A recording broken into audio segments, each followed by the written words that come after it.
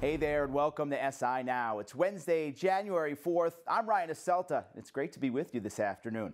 Coming up, we get you ready for Wild Card Weekend in the NFL with Redskins legend Joe Theismann. And we take a look at the hot trade rumors in the NBA with Brent Barry. But we begin in college football where our Maggie Gray recently sat down with legendary Florida State coach Bobby Bowden. Bowden won 377 games over his 44-year career, which ranks third all time in Division 1A. But these days, the now 87 year old coach is impressed by a coaching legend still in the making Alabama's Nick Saban. Here's part one of Maggie's interview with the Hall of Fame coach.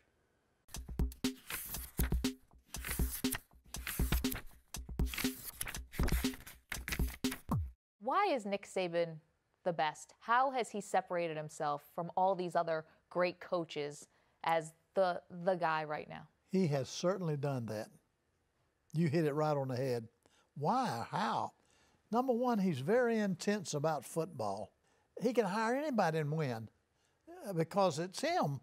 And, uh, and I, I think it's the fact that he is a tireless worker and that he's very intelligent about football, about the fundamentals of football. And, and, and the, one of the greatest things he does is keeps his head, keeps his players' heads level. Keeping your boys hungry and wanting to go out and play hard as they can, that's hard to do when you're winning. How did you do it? I, I just I kept preaching to them about we might get beat, we might get beat. You know, just trying to sell them to stay on top of it. And uh, but but Nick has he's he's a master at that. You you can tell him you can watch him talk after after they won last week. Oh, we got to be careful next week. We got to be careful next week, or we'll get beat. You know, he keeps those kids uh, uh, on the defense. You know. You mentioned about Nick Saban, how he can hire anybody and really he can win with any personnel. There's a news story now that his offensive coordinator, Lane Kiffin, he's basically shown him the door a week before the bowl game. We may never know what really happened between yeah. the two of them, but what does that signal to you, someone who was so masterful in so that, many games? That's one reason I make that statement. Now, he took, here, here's Kiffin, failed at, uh, in pro ball, failed at Tennessee, failed at Southern Cal, and the best coach in the country hires him, offensive coordinator. Number one, you're taking a chance when you keep a coach that's got another job Lined because up. he's going to spend half his time trying to hire staff. You better, you better get a staff down there. You know what? I think Coach uh, Saban just felt like time had run out. I can't let him stay another week. That's the only way I can see it. Yeah. Is it a risky move? Uh, and and uh, it could be. Can the next guy do the job? Now, I think he can. Now, let me, uh, you know, all of the success they had at Southern Cal, they tell me a lot of that was Sarkisian. You know what? So I, I, I, I, I have to feel like Saban knows what he's doing. He's won championship, Saban is, away from Bear Bryant. Do you think he'll ever leave Alabama, well, Nick Saban? Well, I, I would think that, that sooner or later, and it could be later, that he'd lose his incentive you know, I, in fact, I remember last year when I ran into Saban, I went to Tuscaloosa to play in his go golf tournament. And he was sitting there talking to a couple of guys. So I walked up. When I walked up, he, he, one of the first things he said, he said, You know, I'm really tired. So I really got tired this season. So now, and when he, when he said that, I thought, well, you know, you don't want to get too tired. You won't want to coach anymore. But, you know, sooner, sooner or later hit you. Now, I got 80. I went to I was 80. I don't know if he can go to 80 or not. But he's liable, to, if he keeps winning like it, he can do it. We're heading into the national championship game. Yeah. We know last year Saban had to use the onside kick. Yeah. A little trickeration. Sure did. You were famous for this. The uh, Bowden Ruskies. Oh, yeah. All the trick plays. Tell us, Coach, what is the key to pulling off a successful trick play? One thing is to, as you look at another team, and if you find a certain glaring, um, I start to say weakness, the way, way Clemson lined up, they left the right hash over there open. He spotted that. Many, many coaches, most of them would, would not done, done anything about it. He, he worked on it, worked on his kicker, putting it right over where he wanted it. Now, I don't think if he, if he hadn't have done it, I think he'd have got beat. He couldn't stop that guy. I think he would have got beat, but he dared to do it. You do it at the wrong time, it don't work. You know what? You got to find the perfect, just like when we ran the punt, punt Ruski, we were, we were behind 14 to 7. I, I wanted to go in behind because I can jump on my boys. Now, they're not going to jump on there because they're ahead. So I told them, no, don't run it because just wait. And so we waited, and so until the last possible moment and ran it at the right time. Any other time, it wouldn't have worked. As I mentioned, you accomplished everything really from the outset that you set to accomplish the national championship, the undefeated season, all the things that you accomplished. What was the biggest obstacle, though, for you? Biggest, biggest obstacle. What is the biggest obstacle that you face? I think is if you let up in your recruiting, if or if your coaches let up, you know, it could you, you maybe don't get the good kids anymore. Uh, do a poor job of evaluating. See, the, that's another strength of uh, him, of Saban. He evaluates so good. In other words, he, he goes and gets a tackle, signs a tackle to come to Alabama, and the kid becomes a great tackle. Let's say some other coach recruits a tackle, and he really not as good as you thought he was. He gets fired. You know what? But I think he does a great job of evaluating talent. Who's going to win this national championship? Now that's that's a I'm about to, now if you'd asked me week before last, I said, well, Alabama, and nobody in the country can beat them. And I nearly still think that. Now the only thing that's thrown doubt, doubt in my mind, Clemson beat Ohio State like a drum. I have never seen Ohio State get pushed around in my life. We played them three times at, at Florida State. I've never seen anybody put. They are always the dominant physical team. Look at the last time they played Alabama. They beat them for the national championship. When Clemson beat them 30 to nothing, I mean, they couldn't even cross the 50 yard line. I'm saying, now hold it. I think they have the talent to beat Alabama. I'm still not sure if they're tight enough. In other words, Saban's going to play early Small. If Alabama's quarterback plays like he did last week, and the Clemson plays the best they can play, if I knew that was going to happen, I'd take Clemson, but I'm not sure. Coach Bowden, it's been great talking with you. Thank you so much. Congratulations. I should mention the movie The Bowden Dynasty debuts live in theaters nationwide from the NCAA Football National Championship in Tampa. The movie debuts January 8th. You can catch the game, of course, on January 9th.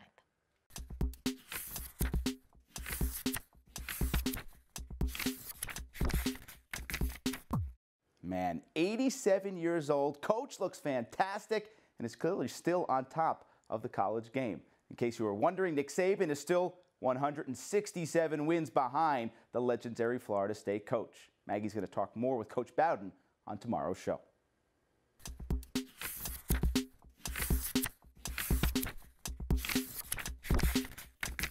Now to basketball, where the turn of the new year is starting to give us a little bit of clarity in the NBA. Big game coming up tomorrow night on TNT when the Rockets and Thunder go at it. Brent Barry will be on the call, and he joins us now. And Brent, Houston and Oklahoma City have split their two games so far this season. Both games decided by a combined five points. How evenly matched are the Rockets and Thunder at this point? Yeah, hey Ryan, uh, happy New Year to you. Uh, I guess Christmas keeps on giving. How about this game we're going to have on Thursday? I'm, I'm super stoked about it. And uh, you're right; those games have been incredibly close. Interestingly enough, James Harden has not played uh, he's had big numbers, but not played particularly well shooting the basketball in those games. Uh, yet it's been split, so it'll be interesting at home, especially what these two guys have been doing as of late. It's uh, going to be super excited. I, I'm even shaving today before the game. That means it's a that means it's a big game. yeah, you know it's a huge game when you got the razor out a day beforehand. Well, yeah, done, I don't Brent. do that. I don't do that. Maybe Marv will shave too. We'll see. a clean shaven bunch on Thursday night. All right, OKC loses Monday night to the Bucks. The Thunder are now eight and eleven when Russell Westbrook doesn't record a triple double. What do you think? Are the Thunder too reliant on one player to be considered a contender in the West?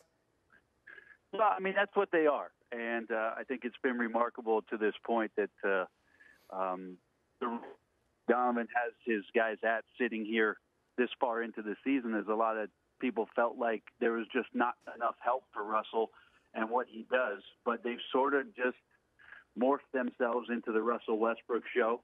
And it's been interesting over the course of what December represented. They were missing Oladipo, who's supposed to be, you know, his running mate in the backcourt. He suffered that wrist injury and they actually had their best offensive month without him in the lineup. So with January, all these road games they have, they have 12 of 15 games on the road. Oladipo is just getting back into the lineup. It'll be very interesting to see how it is that Billy Donovan starts to get him back into the flow of the offense and if he starts to split the minutes again because they got some great production from their bench. Even though five and four during those nine games that uh, that he missed, uh, they definitely need him to and we'll see if January if they can survive what their schedule has in front of them. Now, uh, speaking of contenders, your colleague at TNT, Charles Barkley, had some interesting things to say about the NBA last week, saying no that way. No yeah, way. I know, He surprise, surprise. Charles, Oh, uh, a little God. bit of controversy surrounding Wow. him here. Yeah, he talked about parity and said the league is the worst it's ever been, top to bottom. The criticism Yeah. comes while we're seeing a deep pool of individual stars putting up big time numbers this season. D- do you agree with Chuck? And is the NBA as bad as he says it is? You know, I just uh, I hope I'm not people that with age comes uh, cynicism.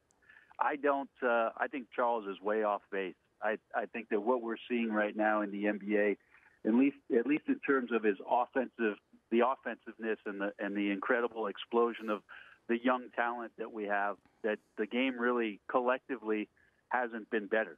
I mean, it's it's so fun to watch the ball move around, people move around, to see some of the numbers and some of the things that guys are doing on an individual basis.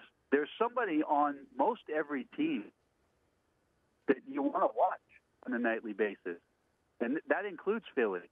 So uh, the league is far, and, and at this point, um, I disagree with Charles entirely. Uh, is uh, the East better than the West, and is there better star power than there was in you know an era long ago? I I don't know. That's debatable for a lot of people, but I think the game has never been in a better place, and we've got some young studs, and I really enjoy watching it. Amazing. We're having MVP conversations about Russell Westbrook and James Harden, not even talking about LeBron James, Steph Curry, and Kevin Durant. So it shows that uh, the depth of talent, as we talked about, is pretty deep right now. How about the trade deadline, Brent? Uh, still over a month away, but a strong report out right now suggesting the Hawks are looking to move Paul Millsap. Uh, do you think that's the right move for Atlanta, and, and where do you see him fitting in? Well, I mean, Paul Millsap is the kind of guy I think with his skill set, he's going to fit in just about anywhere. And uh, the interesting thing is, what team really at this point with Paul Millsap, given his age and given the contract situation where he's looking to extend after the season's over with, um, is somebody going to take him out on loan for that season and then and then keep him into next year? I, I don't know. For the Atlanta Hawks to be competitive, Paul Millsap is their guy. I mean, if they lose Paul Millsap or, or the situation becomes uh, such that Paul is communicating to the team that he'd like to continue his career somewhere else, then of course Atlanta has to look at all options and, and get something for him. But to this point, that hasn't been what Paul has been talking about. His direct quotes have been that he wants to be in Atlanta, he wants to stay there, and for Atlanta to stay competitive, uh, he's the best player that they have right now and gives them the best chance to be competitive in the playoffs. So be interesting to see what what, what it does to Atlanta and whether or not whether or not they want to make that move and and bottom themselves out and give themselves some flexibility. Uh, You mentioned age and contract situation, so let's talk about the New York Knicks, right? They've lost five straight. Ton of controversy surrounding Carmelo Anthony. He's been criticized for his lack of defense. Coach Jeff Hornacek seems to be getting frustrated with him now on, on both ends of the floor. Has the time come for the Knicks to try and, and work something out with Melo and eventually part ways here? Well, it's just going to be fascinating. This is not something that has not happened before uh, with Melo in terms of trying to get him to engage on the defensive end of the floor. But there's also a lot of uh, fluidity in what it is that the Knicks represent this year. Jeff Hornacek, first year coach. Derrick Rose trying to regain some footing there in New York. First time, uh, obviously, there, first season for him. Noah struggles, although as of late he's played better. And then the development of, of Chris and where you want to go with Porzingis. So the, the interesting part about all that um, is that it's New York, so it draws a lot more attention than anywhere else. And Melo has the the option, I guess, at this point where he can decide whether or not he wants to go and continue somewhere else. And that's an interesting facet of all that. Does Melo want to go somewhere else? Deep down, he's always for him. So how do you move the immovable object if it's not something he's willing to do? Yeah, Knicks' hands may ultimately be tied when it comes to mid February. Well, tomorrow night, 8 o'clock Eastern on TNT, it's Russell Westbrook and the Thunder taking on James Harden and the Rockets. Brent Barry will be on the call. Brent, thanks for being with us and Happy New Year. No problem, Ryan. Happy New Year to you. Looking forward to that tomorrow night. All right. Big regular season game in the NBA tomorrow night, but in the NFL, it's playoff time. Let's welcome in a man who started eight playoff games over his career, including a win in Super Bowl 17, former Redskins quarterback Joe Theismann. And Joe, we're going to dive into the playoffs in just a minute, but let's start with a team you know very well, the Redskins, who missed the playoffs after their Week 17 loss to the Giants. Huge decision needs to be made in Washington, and that involves quarterback Kirk Cousins, who's set to hit the open market. Joe, what should the Redskins do this offseason with their free agent QB? I, I think Ryan. First of all, happy New Year to you and everyone listening. I uh, I think that they they should sign Kirk Cousins, but when it comes to signing players, both the agent, the player, and the team all have to come to an agreement that is beneficial for everybody.